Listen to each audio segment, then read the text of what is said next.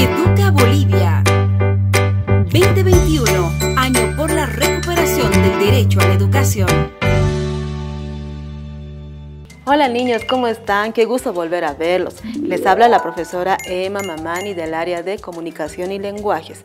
El día de hoy vamos a ver el tema de acentuación para cuarto de primaria. Empecemos nuestra clase.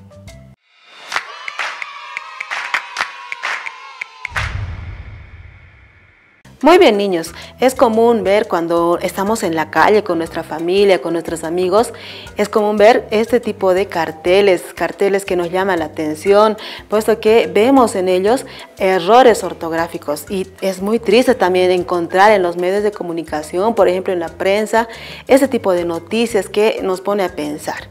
Por esta razón es muy importante que tenemos que abarcar este tema de la acentuación y aprenderlo muy bien. Entonces empezamos. El acento es la mayor fuerza de voz con la cual pronunciamos una determinada sílaba de una palabra. Esta sílaba, la que la pronunciamos con mayor fuerza, se llama sílaba tónica. ¿ya? Es muy importante diferenciar. Entonces, nosotros tenemos dos tipos de acento el acento prosódico y el acento ortográfico. El acento prosódico es aquel donde solamente elevamos la voz. Como vemos en los ejemplos, solamente elevamos, no colocamos ningún signo. Y también tenemos el acento ortográfico. El acento ortográfico es aquel donde elevamos la voz, pero también colocamos un signo. Vemos el signo que tenemos acá, que también se, se llama tilde. Vemos acá las palabras que están llevando tilde. Entonces, para colocar el acento correctamente, el acento ortográfico, tenemos que seguir tres pasos importantes. El primero va a ser dividir en sílabas las palabras. El segundo, vamos a ubicar la sílaba tónica. Decíamos, ¿no? Que la sílaba tónica es aquella que la pronunciamos con mayor fuerza. Y finalmente vamos a aplicar las reglas del acento ortográfico. ¿Ya? Como vemos acá, tenemos la palabra plátano. ¿Qué hemos hecho primero? Muy bien, hemos dividido en sílabas la palabra, ¿no es cierto? Luego, ¿qué hemos hecho, niñas y niños? Muy bien, hemos ubicado a la sílaba tónica. Y finalmente hemos aplicado, hemos colocado la tilde ¿Por qué? Porque nos dice la, regla de las palabras esdrújulas de que todas llevan tilde. Ahora vamos a hacer algunos ejercicios. Muy bien, niñas y niños, es importante recordar que cuando la sílaba tónica está en la palabra, pues puede estar presente en diferentes lugares, como vemos acá. Muchas veces puede estar en el último lugar y en este caso estamos hablando de palabras agudas. También puede estar ubicada en el penúltimo lugar y hablamos de palabras graves o llanas. Asimismo puede estar ubicada en el antepenúltimo lugar y estamos hablando de palabras esdrújulas. Y finalmente puede estar ubicado antes del antepenúltimo lugar y hablamos de palabras sobre esdrújulas. Vamos a hacer algunos ejercicios.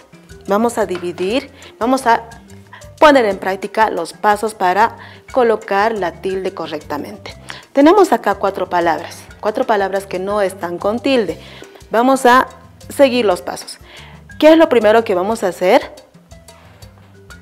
Muy bien, vamos a dividir en sílabas cada palabra. Entonces, la palabra maní, ¿cuántas sílabas tiene? Muy bien, tiene dos sílabas. Entonces, la palabra maní tiene dos sílabas. Luego, ¿qué hacemos? Muy bien, vamos a ubicar la sílaba tónica. De estas dos sílabas, ¿cuál la pronunciamos con mayor fuerza? ¿La última o la penúltima? Muy bien, la pronunciamos la última. Entonces vamos a colocar con rojo eh, la sílaba que la estamos pronunciando con mayor fuerza. Entonces, ¿dónde está ubicada esta sílaba?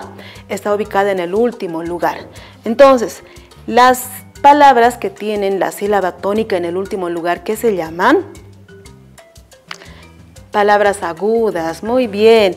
Entonces, la regla para las palabras agudas es todas las palabras agudas que acaban en N, S o vocal llevan tilde. En este caso, nuestra palabra está acabando en una vocal, en la vocal I.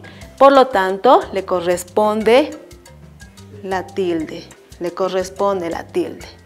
Muy bien, vamos con la siguiente. Tenemos la palabra árbol. La palabra árbol, ¿cuántas sílabas tiene? Sí, tiene dos sílabas. Entonces, vamos a dividir. Ahora, de estas dos sílabas, ¿cuál la pronunciamos con mayor fuerza?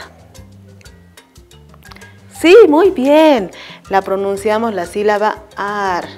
Y la sílaba ar está ubicada en el penúltimo lugar. Por lo tanto, estamos hablando de qué palabras? Sí, de palabras graves. Y la regla de las palabras graves nos indica que toda la palabra, toda palabra grave que acabe en cualquier consonante que no sea N, S o vocal, lleva tilde. En este caso, nuestra palabra grave está acabando en la vocal L. Entonces, le corresponde la tilde y la colocamos encima de la vocal de la sílaba tónica. Pasamos a la palabra página. Esta palabra, ¿cuántas sílabas tiene? Muy bien, niños, qué bueno que estén atentos. Tiene tres sílabas. Tres sílabas. Ahora, de las tres, ¿cuál está llevando la fuerza de voz? ¿Cuál la pronunciamos con mayor fuerza? Sí, muy bien. La pronunciamos la sílaba pa. Entonces, esta sílaba está ubicada en el antepenúltimo lugar y estamos hablando de palabras esdrújulas. Muy bien. Y la regla de las esdrújulas nos dice que todas llevan tilde. Entonces, le colocamos la tilde encima de la vocal de la sílaba tónica. Y finalmente tenemos la palabra lléveselo. ¿Cuántas sílabas tiene? Muy bien, tiene, tiene cuatro sílabas. Ye, be, se, lo. Son cuatro sílabas. Ahora, de las cuatro, ¿cuál la pronunciamos con mayor fuerza? Muy bien, la pronunciamos la sílaba ye. Entonces, esta sílaba está ubicada antes del antepenúltimo lugar, como podemos ver acá.